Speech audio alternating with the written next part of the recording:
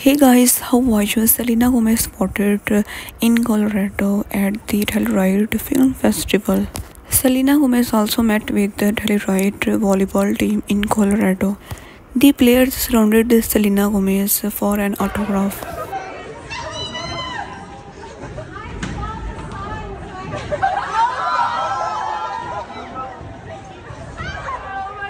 The players cheers up the players were shocked after watching Selena Gomez and were very excited.